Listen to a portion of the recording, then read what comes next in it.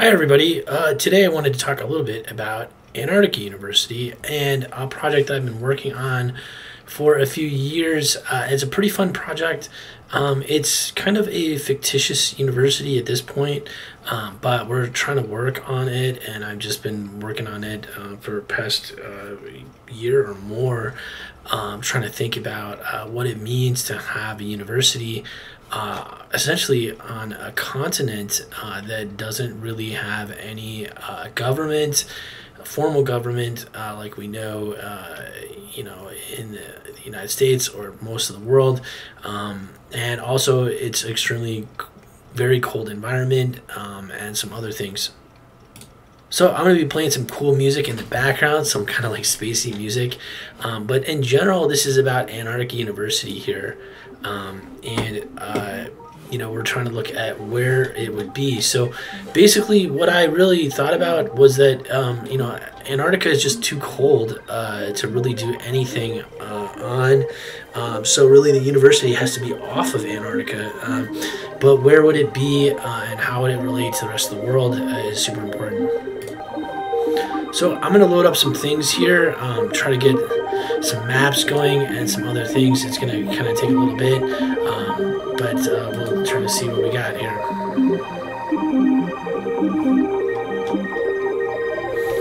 So one of the first things you might notice about Antarctica, um, if I load up the map here correctly, it's still loading, sorry about this, um, but it's going to take a little time. Um, so it's kind of showing up here as, you know, on the South Pole. Uh, let me turn off the weather map because it's kind of hard to see what's going on. Now you have just the uh, fault fault lines. So the interesting thing about this whole thing with Antarctica um, is there's a plate. There's like a kind of a plate that all is Antarctica, and that is the main thing. And then there's a couple weird areas connected to that, which is this this kind of area here, uh, which is very similar to uh, the Caribbean. Actually, has a cir circular loop like that as well. Um, but there's certainly a lot of uh, volcanic activity uh, lot of things going on. So um, right now there is quite a lot of bases, primarily in the tail of Antarctica, um, and then there's also one right at the very south pole, uh, right here uh, at the south pole. So you might be a little surprised. Um, this document is a public open document, so pretty much anyone can edit it. Um, and I have a PDF format that I also worked on here, but I want to show you, uh, I'm going to add something right now live to this so the Wikipedia page is pretty helpful, um, and this kind of gives you some of the best information for all of Antarctica. You kind of see, um, but basically because it's warmer uh, on the peninsula, the, there's a lot of bases right in here, um, and it's really hard to see um, where these bases are. But each country has like different uh, places in the, this whole uh, sphere. So the weird thing about Antarctica is that you'll notice that uh, basically it's a lot of ice, um, and then basically on the tail here is where you have a lot of that activity. So there's a couple ways to get to Antarctica. Uh, one of the first things that I found out, one of the first people I ever met in my town that went to Antarctica was actually from New Zealand, um, and they flew out of New Zealand. So they this was during the COVID, and they had to wait like a couple weeks uh, to kind of get uh, training and some other things in New Zealand. So New Zealand is over here. Um, I'll try to zoom in here so you can see. Um, but essentially, they flew here, and then from here they flew to Antarctica. So you can see there's a couple bases here.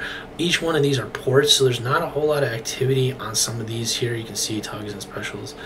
So you can see um, that's like an Australian seaport. Um, and then you got some other bases here, um, even further in that they call seaports.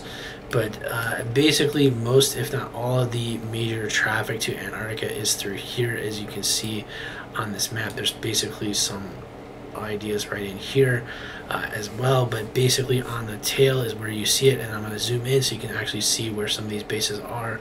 Um, and basically there has to be a seaport of some sort and sorry it's loading so slowly uh, but you can see um, there's kind of a lot of traffic in here there's one base in here and then some other activity down in here so not a whole lot actually at all. So basically it's one of the most remote places on the planet.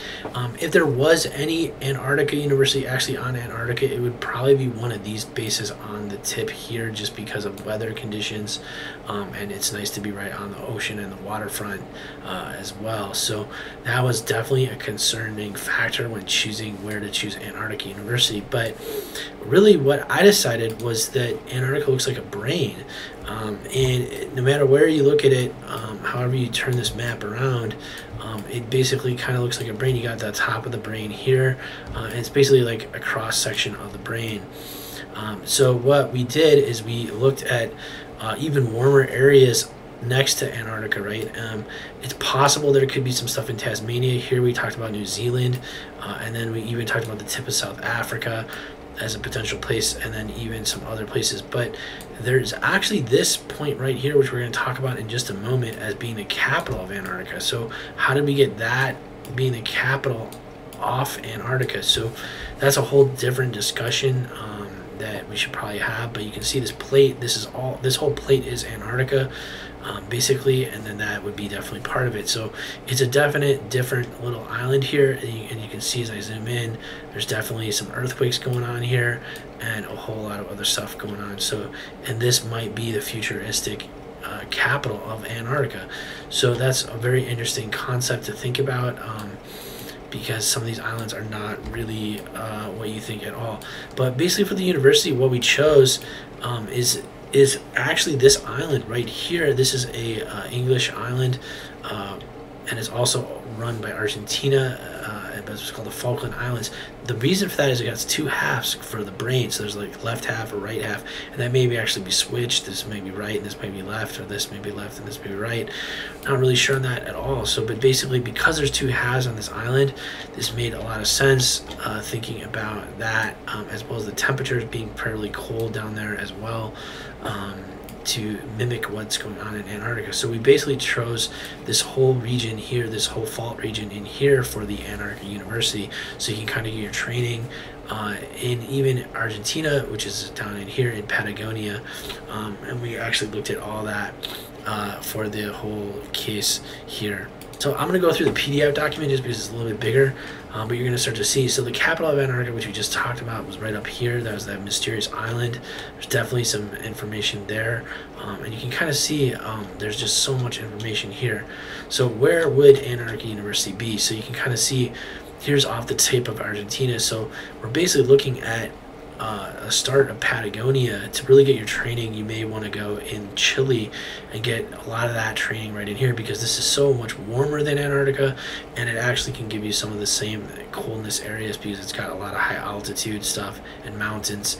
Um, and there are actually quite a lot of mountains on Antarctica as well. So, um, but they're actually all black um, dirt uh, from volcanic activity uh, primarily. So, but here you can see the Falkland Islands. So you may want to actually think. So we thought about doing freshman and sophomore and junior. So basically, the undergraduate curriculum would all be in southern Patagonia and primarily these three regions. There's a lake, some very beautiful lakes, uh, some fun things uh, to do right there. So here you can start to see some of the zoom in, uh, what you might expect uh, to see these beautiful kind of glacier lakes uh, that are uninhabited and starting to work with what's what we call anarchy University.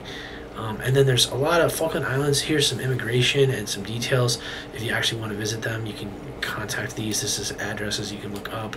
Uh, I'll just zoom in on this really quick so you can see where this is on a map. And we'll zoom in and you'll see where this is. So it's so basically this is the Stanley area.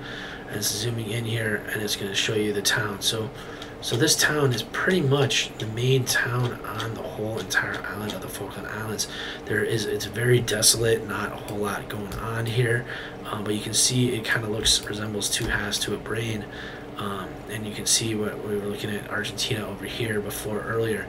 And Uruguay down in here uh, is primarily the main port, seaport. So if you're going by boat to Antarctica, that's all out of here primarily. But there's also uh, a lot of fishing going on in here. But I'll look at Stanley carefully so you can see what the town might look like for actually the main university. Now there is quite a lot of stuff going on here. There's an airport you can see here on the island and a cape uh, kind of a mysterious uh, area and then a kind of a harbor in here but there's not a whole lot of people living here uh, on this island.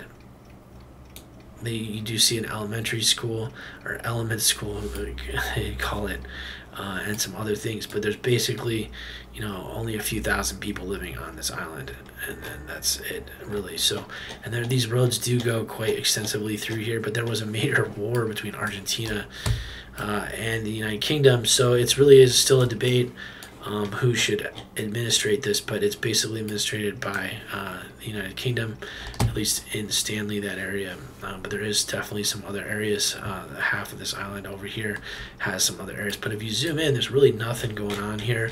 Let's just zoom in to Port Stephens so you can see this here. There might be like one house or something like that, or a few houses. So you see that this is a port here, um, but essentially it's a fairly flat island um, with not a whole lot going on here. And I can even see if there's any Google Street View. I think there is some Street View on this. Let's see if we can get this dragged to the Street View. Uh, maybe not. So that's about that's about how it looks. You see some of the stars in the background there. Exit the ground view and zoom out. Whoa, sorry, I'm gonna pause this for a second. So really, there's very, very few people interested in this at all. So you really had to go to Patagonia. So really, um, we're actually thinking this is quite a different option over here in the Falkland Islands. Uh, and there's basically nobody. It's extremely dangerous out in these waters. Um, but there is some fishing boats and some other things, as you'll see, um, kind of checking out some of these areas. So you can see there's quite a lot of fishing going on here um, and uh, some other kind of ideas happening. But that is all from the Falkland Islands, as you can see here, kind of also from Stanley. Um, but I'll zoom in here. You can see this fish, fishing ships kind of coming on all over this way. But Stanley being a fairly busy port, uh, and some of the other ports you can see that kind of helps you see what's going on, relatively speaking.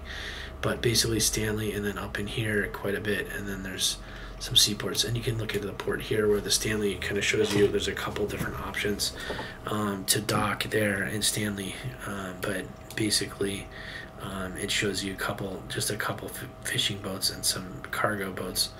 Um, but you can look up some of these names and it would be possible to work with some of these guys because it's not really a structured university yet so you'd probably have to work with one of these boating companies uh, in Stanley and you can just look at them up right here this guy here and you can see his ship and you can find out some details. So it's a little harbor master probably boat or something like that.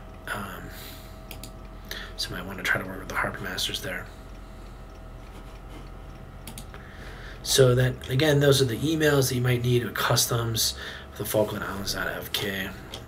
And this is what it looks like on the ground, so you can kind of see what the port looks like on the Falkland Islands, what you might expect to see.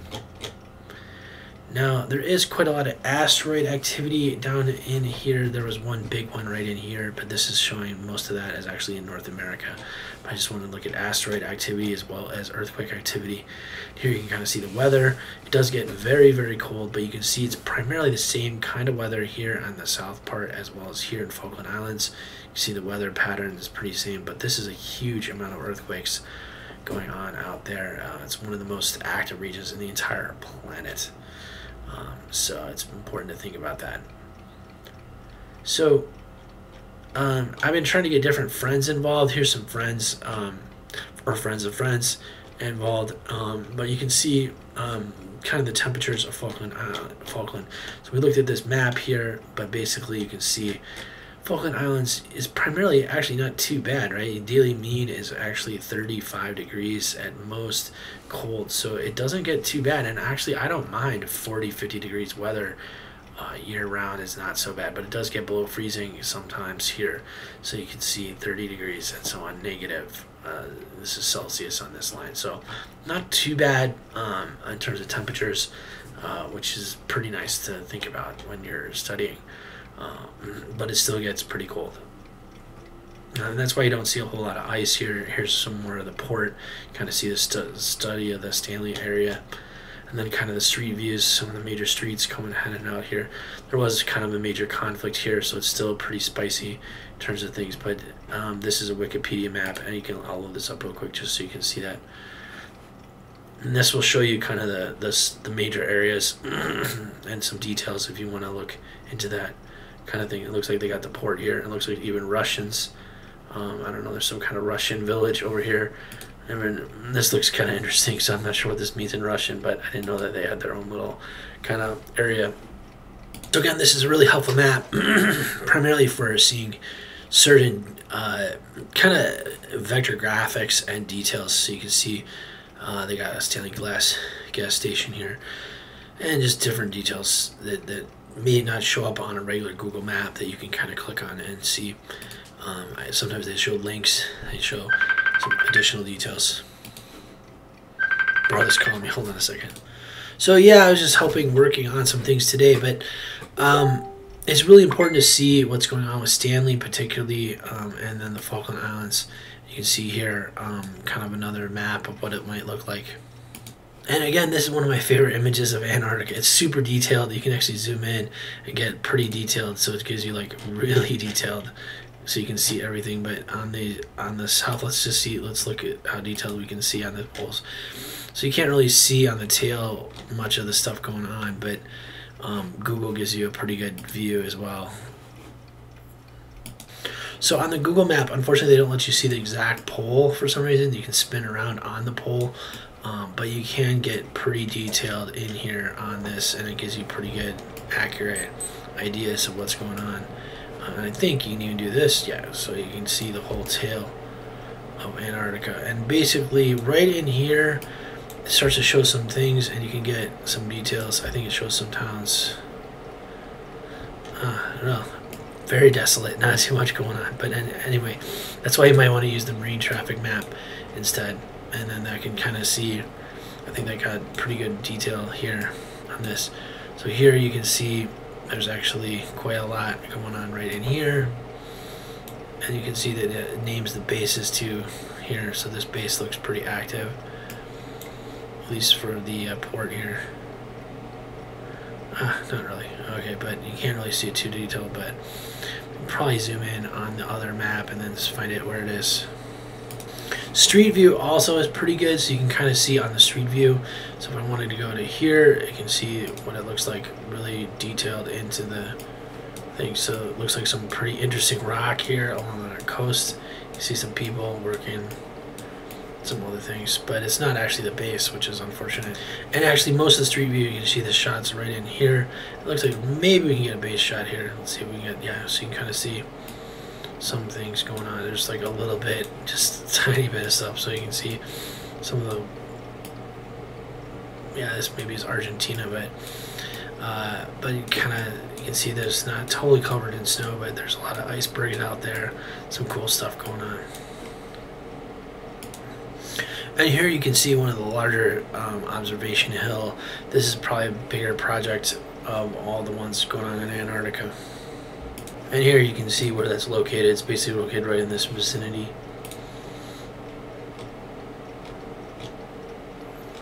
Satellite views and different kinds of project work. So, and you better be prepared for very cold temperatures. You can see almost everything is below freezing all year round, and then even in the cold times, it gets up to negative 20 degrees is pretty common for a day mean and daily mean. The South Pole Telescope is one super interesting to look at too that you might not be familiar with. That's at the exact South Pole, so like right there. Doesn't really show it there, but you can see and you can look. They got a coordinate view and then you can go to Google Earth Maps satellite view and then see the satellite perspective of this. Hopefully it'll load up in just a second. So in general, there really isn't a lot of photography done down there yet, um, but you can see there's kind of different spots um, where there is some photos, but it's not really street view yet. So again, this is really important to understand the plate that we're basically talking about. and so if you really want to get the street view, you're going to have to actually do stuff along in Patagonia. And this kind of region here is probably the only way to really get images that are anywhere close to what you might see. So the main station that a lot of people say is probably Antarctica University is this Edmundson South Pole Station. And the only way to get here really is a government related or, um, you know, it's basically directly with Antarctica. So a lot of people do work here, uh, live here even year round. So, but it's extremely cold. You can see here's the South Pole, geographic South Pole, and they have this funny little pipe here, um, also kind of showing the South Pole. Um, but uh, in general, it's pretty interesting kind of base. Kind of see some uh, a lot of work being done here, kind of the shape of it, um, and some different things control station. But again, I was shocked to see how cold this is here. So we're talking the average temperatures are in the negative 40s, negative 70s. So this is like very, very, very freaking cold. It's hard to appreciate how cold this is. So I was just like, I was like almost like trying to think about the actual idea of like what you'd want to do for a university here in this temperature. There's really nothing to prepare so for this. So going back to the design of the Falkland Islands is that really the temperature is so much better here that it's really better to study here on the Falkland Islands than it would be ever to study on Antarctica just because it's really difficult there. So you really want to study someplace like this. Um, and you can see there's kind of a central region here that I highlighted, and then there's a kind of a weird, even a split almost between these two islands, which is uh, Goose's Green uh, kind of like a pathway in between there. So it's almost three islands, but really two major ones if you look at it there. Here's some scenes that you might see from there. They actually got penguins there on this island. Um, there's actually a lot of penguins all over. Here's what the, the Falkland Islands uh, looks like, where you can see the housing. Um, and some more weird little islands all in between. So this is the this is the middle section of the Falkland Islands. You can see there, and then some more pictures. Um, what it looks like. They got horses on the island. And this is the main house. This is where the uh, Admiral is. This is kind of their main uh, main building that was built first. And then some beach scenes. Uh, there's a big anchor along the coast here. And then more the more the little. I thought this picture was so awesome to see the little penguins hanging out here. But there's definitely different types of penguins. Now here's Urscher Schauerwey. Now this is Argentina, so basically you can kind of see what it looks like from the from the ground here. You can kind of see, and there's also some a lot of grass and forest as well, um, because it's kind of located on the mainland. And then here's a boat maybe heading out into the ocean on the Falkland Islands, and you can see more of what it might look like um, on the. Excuse me, this is not Falkland. This is Ushuaia, Argentina. So you can see this is a cruise ship heading out to the Falkland Islands. So you go to the Falkland Islands from this place. And more scenes of what you see, a lot of birds, penguins, and fish. So um, now here's one of the kind of uh, war scenes that happen. Um, you can kind of see what uh, happened uh, on this Falkland Island. Goose Green area was a major point of friction. So you might want to stay away from some of these. Now here is the whole tail of the Antarctica uh, called Hope Bay, um, which is really the main areas that you really need to know about uh, if you're starting to get involved in Antarctica. And you can see here some pictures of what it might look like as well. So there is different institutes already going on. This is one called the Uruguay Uruguayan Institute, um, and this is what it looks like out here. So there are quite a number of places outside of Antarctica, and then there's kind of some dividing up that's been going on. Um, I wouldn't really, uh, you know, this is kind of one perspective of how these are all claims, not necessarily uh, actual ownership of the island. And a really interesting uh, kind of a church here on the Falkland Islands you might want to look at um, and some other areas. So there are some other areas. This is uh, the Goose Green Museum. This is that one little area that separates those two areas, which looked pretty interesting. So there's some other kind of other coastal ridge cottages and some other areas um, that you can check out. So the other interesting idea is to think about how you can have some discussions and things in Europe. I'd really like to see that happen in Denmark area um, and actually Amsterdam if there are going to be like side meetings for Antarctica University in Europe, would be interesting to have. Um, and then you can kind of see some more areas here. Um, and this is a very interesting kind of like look of what some futuristic buildings might look like on Antarctica or even for the university, um, some coloring systems. And then really what you want to think about is this declination field line. So there is an interesting point that this goes right through the Falkland Islands. So the electromagnetic field will actually work correctly right on the Falkland Islands, so your compass will work correctly over there. So that's another very interesting point uh, to think about um, that uh, in terms of where you academically are located. So right up in here, um, down in Louisiana, and here is they have a very famous chess tournament going on over here called uh, the uh, during in the strait here, um, and then there's also Nigeria here, and then this is East Africa, then Mumbai, India, and then this is right near Mount Everest, up in Nepal, and then this is Singapore down in here. So there's some other areas that have some interesting electromagnetic fields that would be important to look at. And then these are those islands that I was talking about. You really want to watch out carefully. These ones, there's some really interesting earthquakes going on out in this region. So, um, in terms of the schooling, you know, it's actually surprising that we don't actually do enough work over in these islands here, but they're very volcanic and extremely dangerous. So there's some really important questions there. And you see the fault line kind of does a weird thing here. There's already major ESO, European Southern Observatory down here in Anaconda, um, and that's many billion dollar project and it would be important to collaborate with them um, potentially on some projects work um, if you're interested in working with Antarctica University definitely highly recommend ESO here's some people that not, not necessarily this is my brother here and we're basically just trying to get a whole list of people that might be interested. So some of this might be out of date um, and different people but basically this was we were looking at doing uh, external programs at different universities for example up in um, sorry there's a lot of information here but uh, basically working with um, different places around the world, including University of South Pacific in Fiji and some other areas. Now, here is some other areas that are kind of related to the project, and here is even on the North Pole looking at the Aleutian Islands and how that might be related to Antarctica University potentially in the future. And here's the four some really interesting islands on the North Pole.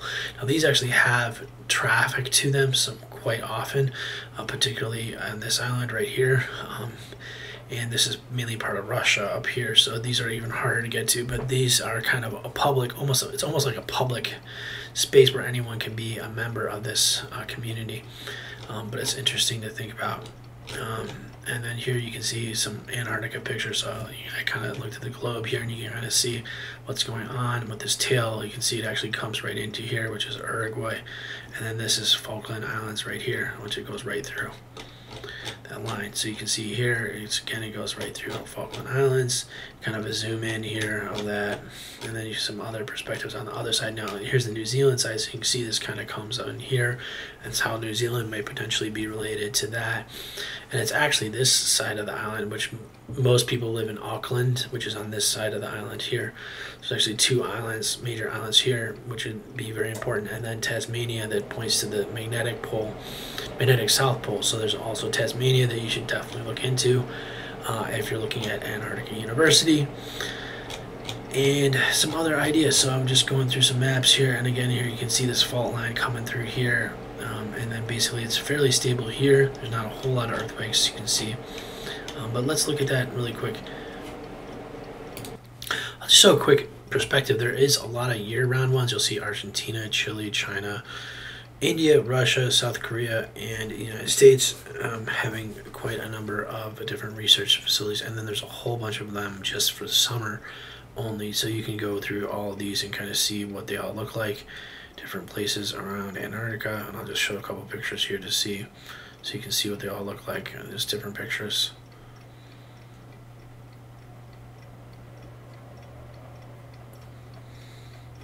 But again, a lot of these are actually on the tail or different locations. Um, you can see here there's definitely differences in the stations and some of them are quite small, some of them are quite large. Look at that one, that one's pretty large there. Italy, Germany, Norway.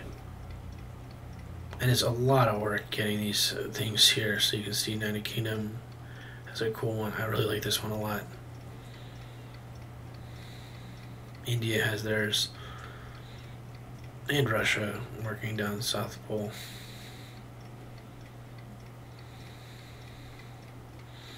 And perhaps the biggest one, one of the biggest ones, is this one on the very South Pole.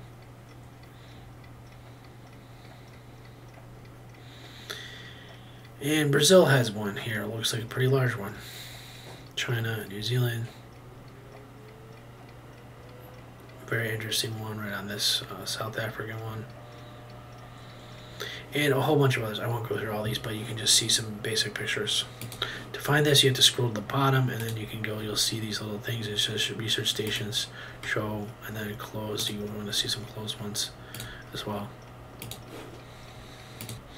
And they do this on many pages. This is just the Anderson South Pole Station, and you can see Antarctica has a whole bunch of topics here that you can see particularly related to that, and then polar exploration, Arctic, Antarctic. I'm actually wanting to do a whole separate thing on the North Pole, but that's going to be basically about Tasmania. Um, even though that's pointing to the South Pole, but we're going to look at that um, as a potential location for uh, getting prepared uh, for some stuff on the North Pole. It's kind of interesting. There's actually been more work on the North Pole than there is on the South Pole in general. And then there's some specially managed areas that you can see. But basically, the South Pole is primarily controlled by the United States, and it needs a lot of help. We need a lot of other people helping out with the South Pole. So, in terms of specific control, one thing that you should realize is that Argentina actually and Chile have a huge say because they control a lot of the tail here of Antarctica, whereas other parts of the world, they like Australia claims a huge portion right here. Norway actually does quite a lot as well, um, but um, you know, there's just a lot of United Kingdom is trying to do the tail as well. Um, so there's just quite a little bit of a debate here. And then on this jaw portion, New Zealand wants to look at that as well. So here you can see the largest station is actually this Majuro station. I'm going to do a little bit of more detail on that later. And then one of the largest cruise ships here is the Silver Cloud. Just take a quick look at that. You can see what it looks like. So you can see some different pictures of some cruise ships that go to Antarctica. Looks like they did a paint job on the ship at one point to make it all white, but quite a large ship. So the interesting thing about this um, McMurdo station is that it has about 1,500 people on it, so it's a huge base. One other interesting point is that there's actually a nuclear reactor here, um, and it's actually uh, done by the U.S. Army, and they dropped it off in 1962. Here's a plaque showing that. So we're going to take a quick look at the McDuro Mc, sorry, I'm not pronouncing it correctly, but the station. So basically, there's a lot of broken up ice here. You can see that kind of shows uh, quite a bit of these uh, breaking up ice. So, um, but basically, the station here, and you can see in the background, there's a huge mountain in the background. Um, but basically, this is it right here. And there's 1,000, almost 2,000 people live here. Um, and there's year-round base as well. And there's also Scott Road here. I don't know if we can get an actual and Google Earth you can also see it here and it actually shows you quite a lot of ice so there should be you know this is pretty pretty packed in here. I don't know how you're gonna get in here it says unless it's the summertime um, but on a boat um, but um, it is kind of an interesting spot um, to uh, be and it looks like they got um, they may even have street view in some of these uh, yeah they do so that's pretty nice to see. Um, I'm gonna just go right in here on the street view. I've never done this before. I'm, just see what it looks like. So you can see pretty much walk down these ways. Almost looks like it's pretty warm here, right? Um, but uh, actually it's usually about negative 10 degrees or so. At least from what I saw on the uh, data here. So you can see the temperature. Um, where are we at? Antarctica. So so I just went here to this station here, and then I grabbed the, the coordinates here to get it to actually get the coordinates on it. So where exactly is this? I'm going to zoom out and it's going to radically change the image. So you can see there is probably ocean access here. You can see Scott's hut. Um, so there's quite a lot of weird, uh, weird things that start to happen as we zoom out. Ross Island, you can see, and um, then it zooms out. So this is not the part of Antarctica that's the tail, but um, a lot of people do originally go to the tail. Um, and then this is kind of the, the mouth portion, so you can start to see what we're talking about right here. So, and this is actually on the New Zealand side. So you can see over here, this is New Zealand here, and then they probably came down through here. So basically, um, there is some earthquakes even showing up over there and some other things. Um, but it's actually quite pretty far inland, and you can see Buturo, so it really requires all this ice to be broken up just to get there. So that's why a lot of people actually really do go to the tail over on the opposite side over here. And it's actually quite a bit warmer as well. So collaborating with other countries, um, again, we saw that New Zealand is pretty vital, South Africa is very vital, and basically Chile and Argentina are huge. So Spanish is actually quite um, close to uh, what might happen as well as uh, English being very popular just because so much United States influence.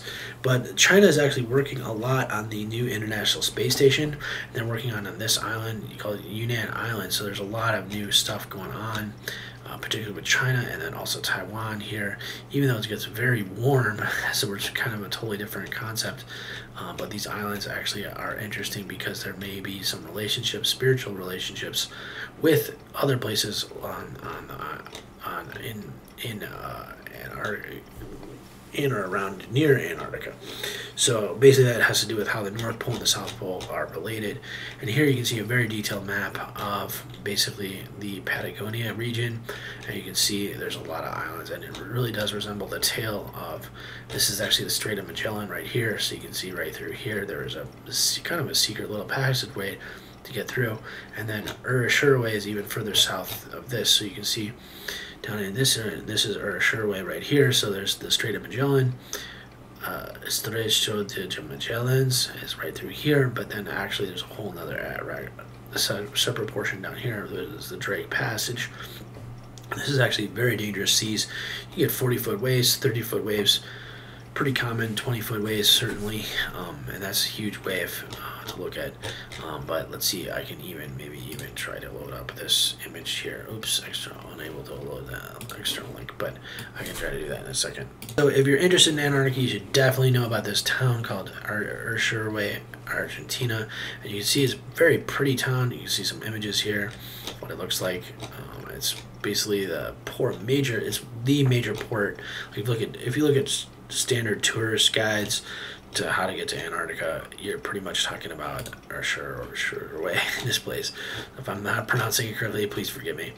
Um, but there's a whole lot of really cool stuff going on right here, and this is the town right in here. So you can zoom out, and I'll show you kind of. They got an airport there. Looks like. I think this is a major international airport. You can see it's a very big air airstrip landing, so you can get right into the town pretty easily there. Um, and then you can see the pole tip. So this basically is the last point that you get just on Argentina, and you can see this whole thing is kind of an island, so it's actually very difficult to get to in general.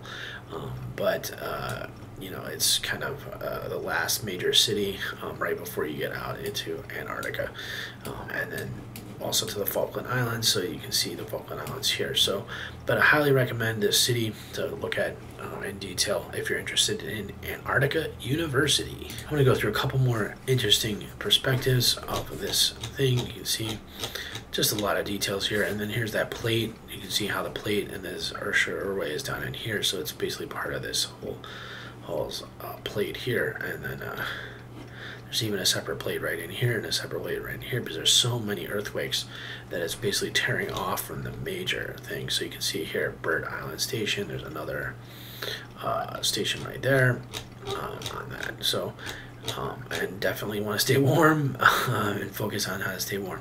Now, the magnetic North Pole is actually very interesting to think about. You have the magnetic shift, and then magnetic North Pole, and then the earthquake zones, and what's that's going on. So, but going back to Ursula, here's some more details, and you can see this is actually in, uh, well, this is actually some cliffs out in on the North the North Pole, but um, again, how we get to back to the North Pole from the South Pole, you also may want to think about this.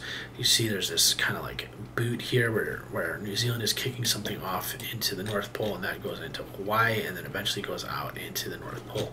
So there may be some connections there that are pretty simple to understand. You can see this razor sharp kind of connection up through here, going through here.